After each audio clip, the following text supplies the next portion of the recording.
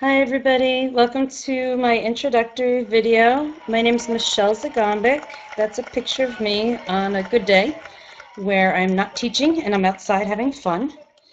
Um, I teach 7th grade social studies and I'm a technology coach in Warren, New Jersey. My last name, Zgombic, a lot of people ask what that is. Uh, it's Croatian. My husband's family is from the country of Croatia and that's a picture of it. It's absolutely lijepo, which means beautiful. Um, we've been to Croatia about five times. Those are my two daughters, Emily and Natalie, the loves of my life. And another special love of mine is my husband, Andrew, and that's us tailgating at a Jets game at the Meadowlands, which we probably lost.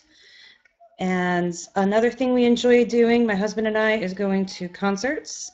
Uh, we like some jam bands. This was probably my morning jacket at the Beacon Theater.